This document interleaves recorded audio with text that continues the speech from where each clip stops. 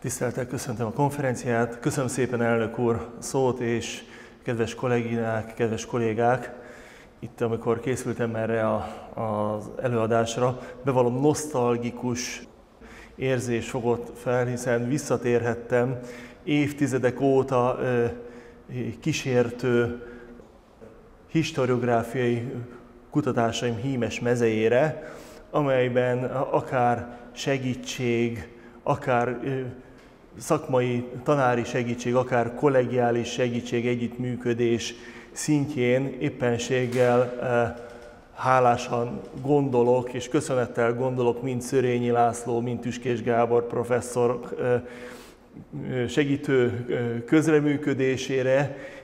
Külön megtiszteltetés, hogy Tóth Anna kollégina egy jubiláns tanulmányomra is volt szíves utalni, hiszen nem csak a, a Praj György születésének 300. évfordulóját üljük, hanem az által említett Kéri Borcsa Ferences tanulmány is már 25 éves, ami egy negyed évszázad.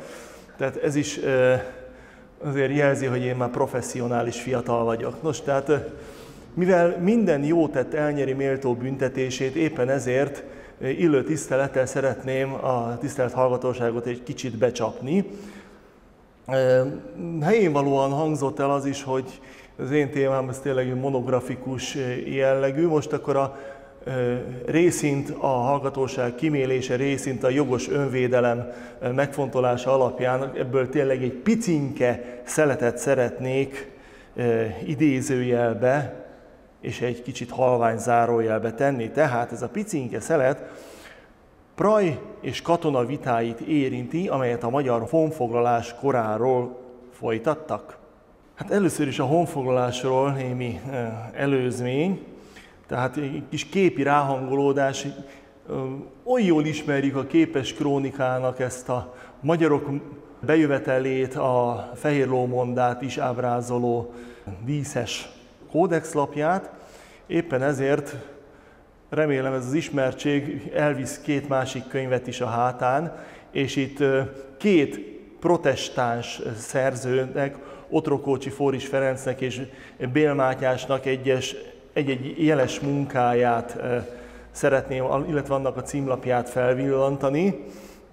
Ugye akkor még nem gondoltam, hogy a, a Bél Mátyás kutatás legavatottabb mai szakértője, Tóth Gergely is jelen lesz a konferencián, úgyhogy rá, remélem, hogy őnála is elkönyvelhetek emiatt egy halvány piros pontot, mert szó ez most nem így lett megkomponálva. Nos, őróluk kevés szó fog esni, ugyanakkor viszont az ő életművük, az ő tudományos hatásuk az nélkülözhetetlen Praj és katona világának tudományos hatásának, eredményeinek a megértéséhez. Tehát elengedhetetlen historiográfiai háttér, amelynek az előadás vázlatát, ha nem is Ádámtól, Évától, de azért kedvenc, egyik kedvenc fixációmtól kezdve az 1060 előtt készíthetett, bár erről parázsvita folyik, első Andráskori ősgesztától kezdve adom. Tehát itt miről van szó? Hogy hogy alakult a honfoglalásról alkotott műveltség, melyek voltak ezeknek az, ennek a műveltségnek, ennek a tudásnak az írásbeli hordozói, tényleg csak a vázlatnak a, a vázlatát tudom bevezetésként adni, hát ugye akkor a magyar történetírás kezdetei és a folytatásai azok már már nem ismert, csak későbbi átiratokból többé-kevésbé rekonstruálható szövegekben, gesztákban, krónikákban maradtak ránk. Ugye a 13. század elejéről való az első önálló formában korunkra jutott, és a középkori történetírásunk fővonalához képes kicsit különc, Anonymous, vagy Béla király egykori jegyzője, mesternek mondott P. Eh, honfoglalás története, ami nem etnikus ős történet, hanem monarchikus, arisztokratikus, tehát elitista hős történet volt Sokan sokat várnak el Anonymusztól, akinek amúgy se túl jó a találati aránya, de azért bizonyos esetben a kritika az, mint hogyha leadná a rendelést, hogy mit kellett volna Anonymusnak írni. Na mindegy, nem véletlenül időzünk Anonymusnál ennyit, mert majd később is fogunk.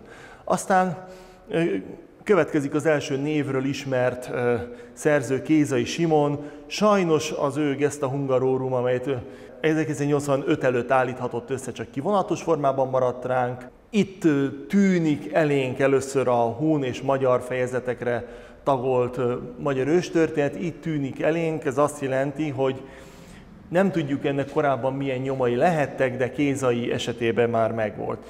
Tehát a legkorábbról ismert gesztáról van szó.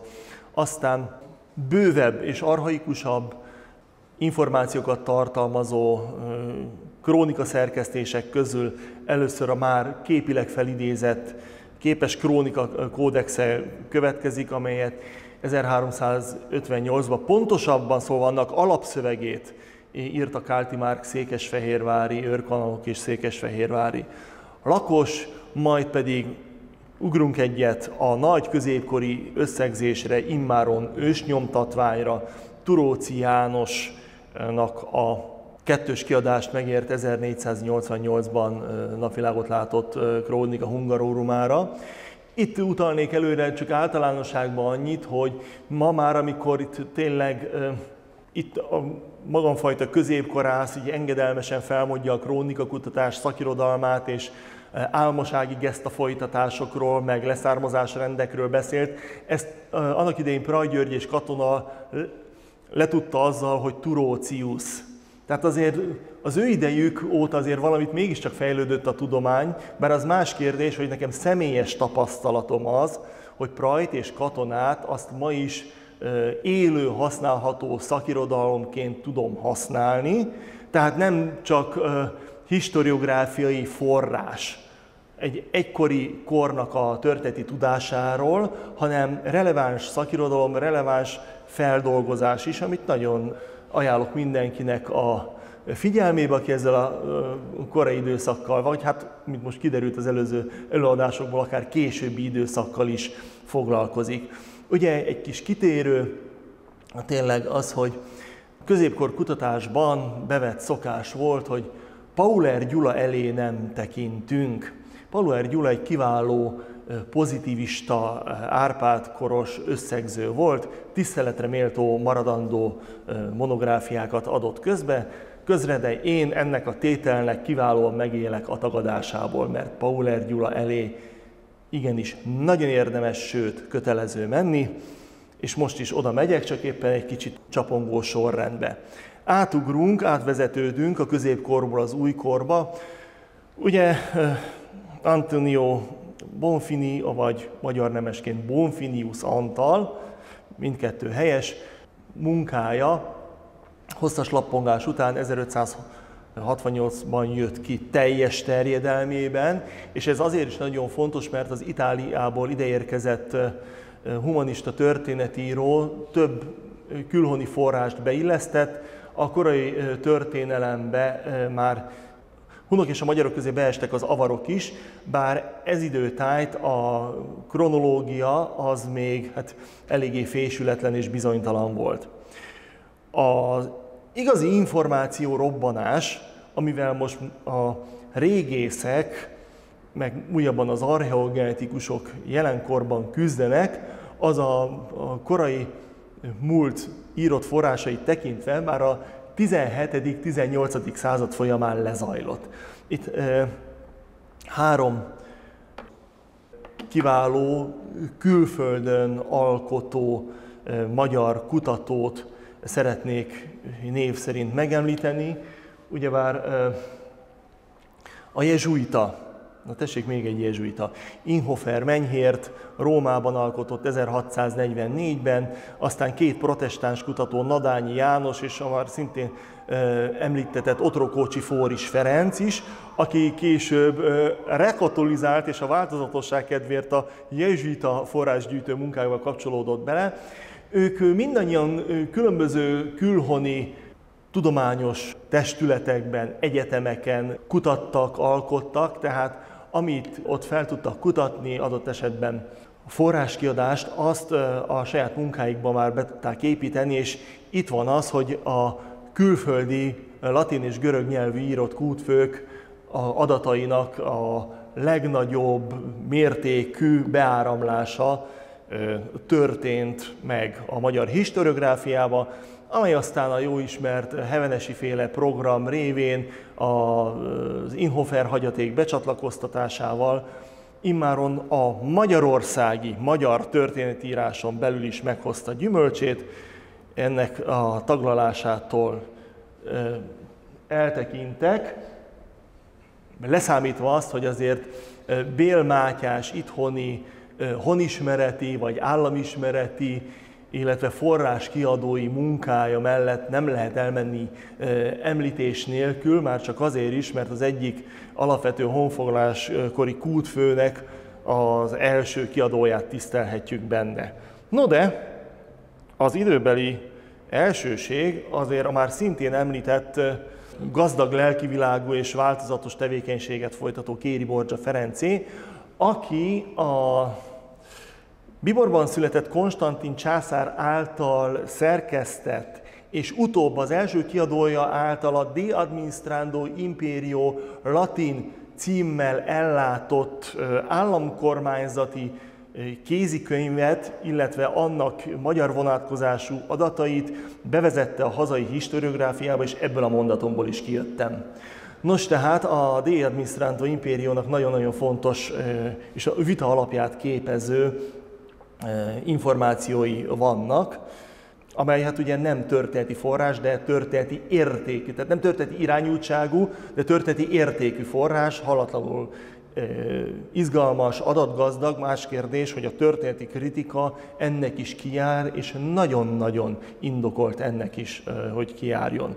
És akkor végül is az előzményeknél jussunk el 1746-ig, addig a forrásgyűjteményig, addig a hatalmas forrásgyűjteményig, ami nem csak az 1937-38-as nagy kritikai kiadás címadását ihlette meg, hanem amíg lényegében a 20. századig a magyar történeti kutatást híven szolgálta, három hatalmas kötet, az első kötet első tétele mindjárt, Bél Mátyás rendezte sajtó alá, Johann Georg von Schwantner számára az Anonymous féle geszta első kiadását. Nos, így állunk mi, ezek a vita alapját képező fő források és a háttérkörülmények. Ismerkedjünk meg a vita szereplőivel képileg. Praj ugye most lenne 300 éves, Katona István pedig 1232 végén, decemberében született, tehát egy szűk tíz év van kettejük között, nagyjából ugyanannyit éltek. Alkotói színre lépésüket tekintve Praj egy kicsit korábban érő típus volt, mint Katona István. Itt most hátat is fordítanak egymásnak, és ezt dramaturgiailag én rendeztem így. De az, hogy akár tanár, tanítvány viszony lenne köztük, ezt nem lehet állítani egy elöljáró idősebb mester és egy fiatalabb, szintén mester érdekes kapcsolatáról, érdekes szakmai, tiszteletteljes szakmai kapcsolatáról van szó. Nos, itt mi volt az ő vitájuk alapja? Elsősorban az, hogy voltak éppen, és tényleg most csak ezt az egy témát az érdekes utózmányával együtt következményével együtt van módom kifejteni, hogy voltak éppen ki volt a magyarok első uralkodója, az első fejedelme, vagy ha úgy tetszik, az első nagy fejedelme. Erről két ellentétes közlés maradt ránk, ugye a már említett De Imperio elővezeti azt az egyébként enyhén szóval képtelen történetet, hogy a Kazár Kagán kitalálja azt, hogy kéne egy magyar bábállamot szervezni, és akkor szól Levedinek, hogy hát azért rendeltünk magunkhoz, hogy akkor téged néped egyeduralkodójává megtegyünk, mert addig még csak ilyen vajdák voltak a magyarok fölött, és akkor a Leveldi köszönettel lepasszolt ezt a meg nem tisztelő lehetőséget, hogy hát úgyse bír ezzel, és különben is van egy másik Vajda, Álmos, és annak van egy fia Árpád, és akkor a Kazár Kagán a nagyfene kreativitásában kijelentette, hogy hát jó, csináljátok, és akkor rábízta a magyarokra a döntést, a magyarok pedig, amit lehet látni, mármint hogy ki legyen a magyarok első monarchikus uralkodója, Árpádot választották az apja helyett, mert hogy bölcsebb és tekintélyesebb volt annál. Itt azért az ironikus fogalmazásból, hangsúlyból kiderül, hogy, hogy, hogy itt a történeti kritikának lenne keresni valója. Most ez a forrás, ugye bármint azt tudjuk, ez 1740 óta boldogítja a magyar történeti köztudatot.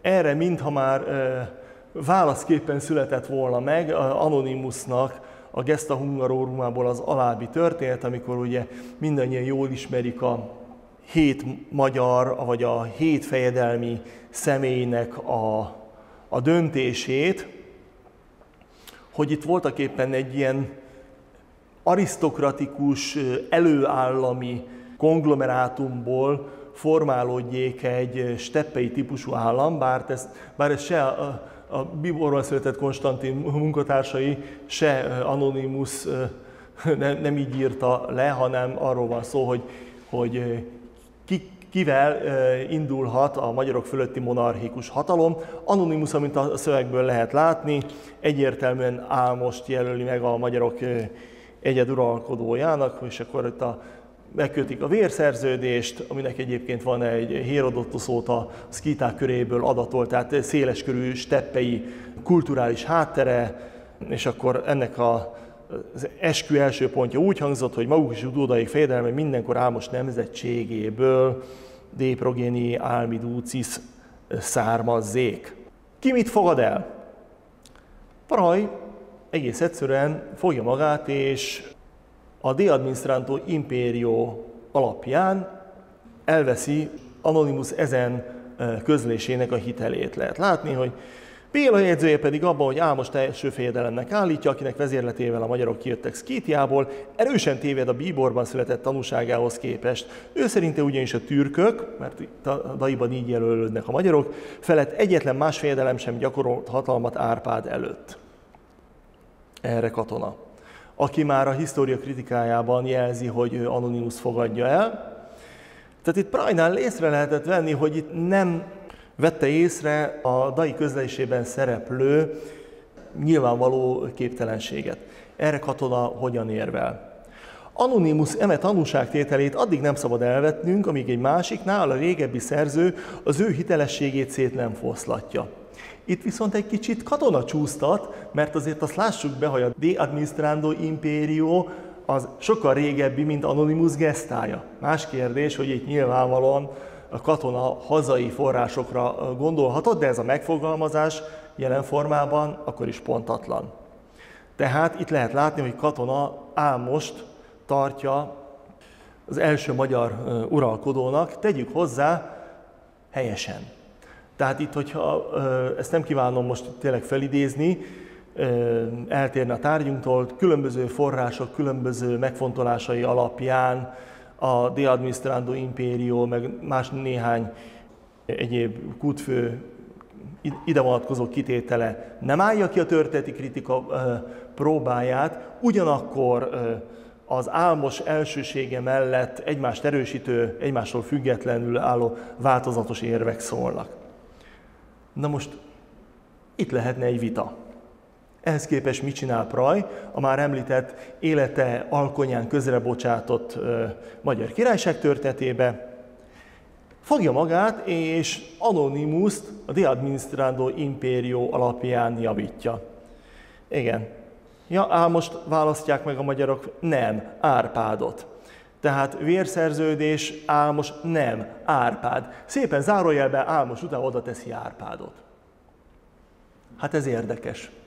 Tehát azért mondom, hogy itt van a becsapás, mert itt nincs vita. Itt mindenki szépen azt mondja, hogy ez van, kész.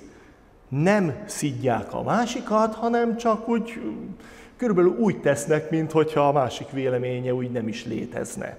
Nagyon érdekes tehát ez a, ez a tiszteletteljes tisztellek, éppen ezért nem kötök beléd, és tehát úgy teszek, mintha azt le se írtad volna, magatartást vélem kicsendülni ebből a hallgatásból, hogy ezzel a keresetlen képzavarral éljek.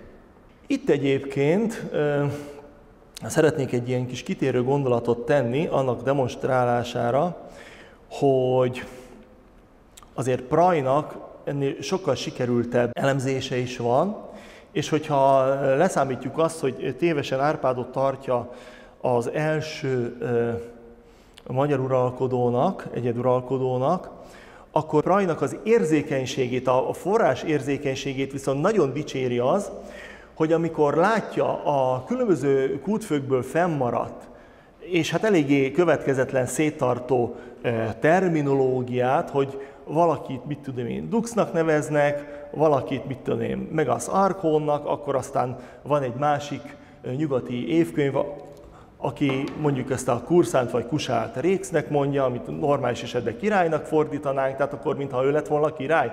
Na nem. És akkor ehhez képest Praj a maga 1761-es latinságával, mert még mindig nem anyanyelvi szinten kell értelmezni az adott szöveget, rendet vág a méltóságnemek és a méltóságnemek tényleges történeti alkalmazhatósága között, és amint látjuk, máig hatóan helyes érvényel, mert az tény, hogy volt a magyar történetírásnak egy ilyen mellékága, amely kurszánt vagy kusát akarta főuralkodóként beállítani, de hát ez semmiképpen nem állja ki a történeti kritika próbáját, és ezt a kis kitérőt megspórolhatta volna a magyar historiográfia azzal, hogyha odafigyel Praj György ezen okfejtésére, mert bizony a monarchikus hatalom az tényleg az első magyar uralkodóházhoz kötődik, akit mi Árpádháznak hívjuk. Mióta? És miért? És ki hívja, kinek köszönhető, hogy ez a terminus elterjedt a magyar történetírásba? Katona Istvánnak. Tőle mit várnánk el? Az, hogy bevezeti az álmos ház vagy álmos kor fogalmát. Az a Katona István, aki az első magyar egyeduralkodó személyét helyesen jelölte meg álmosba, ő terjeszti el az Árpádház fogalmát, amit egyébként nem is ő talál ki, de nem is Praj. Tehát ez, ez valami rejtély, és itt azért, szóval már elnézést, de Katona István is megéri a pénzét, tehát egy ravasz figura. Tehát ezt érdemes fellapozni a históriai kritikát, tehát ha már a latin nyelvű terminológiánál vagyunk, akkor katona megcsinálja azt, hogy leírja Álmost Duxnak, Árpádot pedig Princepsnek. Könnyű neki, mert ezt még mindig latinul csinálja, szóval azért volt egy olyan sajátos humorérzéke, ami nem könnyíti meg a historiográfikus dolgát, de hát Katona István is emberből volt. Lássuk az okfejtését. Tehát katona az, aki jobban megpróbálja a véleményeket egyeztetni, Praj élesebben ütköztet, szóval katonában van valami ilyen csavaros ész. Tehát hogy amint az első frank királyi házat Merovingnak, a másodikat Karolinnak nevezik az író, noha Meroveuszt is atya Claudius, Károlyt is atya Pipin előzte meg az országlásba, mint hogy a fiak atyáiknál híresebbek voltak, úgy vélték, hogy a nemzetségek tartósabban örökíthetik méltóságukat utódaikra. Ekép Magyarország első Árpádtól származó királyi háza lépten nyomon azt hallotta, hogy noha Ámos előbb állt a magyar nemzet énén, mint Árpád, mégis mivel Árpád hatalma nagyobb és híresebb volt, mint Ámosé, az egész nemzet úgy ítélte, azt ennél az elsőségre érdemesebbnek tartja. Tehát nem időbeli elsőség, hanem névadó, úgymond rangbeli elsőség. És Katona István azért volt e tekintetben rendkívül ravasz, és itt tudta valahogy Praj véleményét is egy kicsit a magáéba bezárványozottan közvetíteni. Tehát azért volt ennyire ravasz, mert köztörténetileg igaz volt, hogy a, a magyarok bejövetelét, a szállásváltást Álmost kezdte el, de a fejedelemváltás az a Kárpát-medencén belül ment végbe, és Árpád volt a sikeres betetőző. Tehát hozzá fűződik egy sikertörténet. Tehát nyilvánvalóan Álmossal kezdődött, Árpáddal fejeződött be, tehát ez egyébként, amikor azt mondják így, főleg a 19. századi szemlélettől sújtotta, hogy Árpád bejövetele, Árpád népe, stb. stb. Nem. A honfoglalás Álmos és Árpád apa és fiú együttes érdeme. Tehát itt nem Árpádot kell, mit tudom én, letaszítani a piedesztáról, hanem az apját Álmost odállítani mellé. Tehát itt azért lássuk be, hogy ennek, hogyha historiográfiailag pontosak vagyunk, ennek van ez a pozitív hozadéka. Tehát, na most más elemében Katona Istvánnak az okfejtése mennyire állta meg a helyét? Tehát melyek azok a nyomok, amelyek úgy megpróbálják megnevezni Katona István előtt az első magyar uralkodóházat. István Imre majd László szenti avatása után 13. századtól felfelbukkan a Szent Királyok nemzetsége kifejezés. Anonymus, amit már előbb idéztem, Progeny Lucis, tehát a álmos leszármazottait említette, hogy közülük kerüljön ki a Magyarország fejedelme. Tehát itt ezért mondom nemzetsége, vagy utódai. Aztán Kézai már egyértelműbben fogalmaz, amikor a D-genere Turul, vagyis a Turul nemzetségből való Attilát, Árpádot és Gézát említi. Tehát neki volt, az el, neki volt egy elsőként egy ilyen kimondott praktikus megnevezése, de ez talán azért se maradt meg, nem indult historiográfiai diadalútjára, mert Kézai Simon gesztája sokáig lappangott, körülbelül fél ezer évet, és csak kivonatos formában jutott korunkra. Talán Praj még látott egy eredeti kézait, vagy, vagy valami eredeti másolatot tényleg az 1770-es, 80-as években. Aztán itt ugye egy újabb definiáció, de hát ez meg egy oklevél siratja. A harmadik András halálával az első magyar uralkodóházat, tehát ő úgy mondja, hogy kihalt, Szent Istvánnak, a magyarok első királyának sarjai közül, a nemzetségéből és véréből való uralkodók sora, tehát letört az utolsó aranyágacska, és keresték a magyarok, hogy a szent királyok véréből kit találhatnának. De hát ez, ez a, tehát ez se jutott be a törtetírás véráramába, mert ott se volt. Ezt csak úgy utólag tudjuk, ezt az oklevelet. Aztán Bél Mátyás próbálkozott a nemzeti vagy a hazali királyok megnevezéssel gentilis indigenus terminus próbált bevezetni, és akkor ugye jött a DAI, majd Anonymous a megismerése, és én tényleg sokáig néztem, hogy Praj Györgynél kellett volna, hogy megtaláljam a Stirps Árpádiána, vagy Periodus Árpádiána, tehát az Árpád vagy Árpád kor kifejezés első nyomát, mert a Praj kellett volna, hogy levonja azt a következtetést, amit ő etéren állított. De az az érdekes, hogy nála nem találtam. Tehát a jelen tudásom szerint borult a papírforma, mert Palma Ferenc Károlynál találtam meg először így, ilyen tömören ezt a kifejezés kettőst. Ugye Palma Ferenc Károlyt némi rossz állítva előbb majd egy ilyen szakavatott praj, majd ö, katona ö, epigonnak tarthatjuk, mert azért itt már említést tétetett arról, hogy több kiadásban megjelentek a munkái, tehát ordít az, hogy a, az első kiadás az lényegében prajt ír, írkálgatta ki, a harmadik kiadás már majd, hogy nem csak katonát.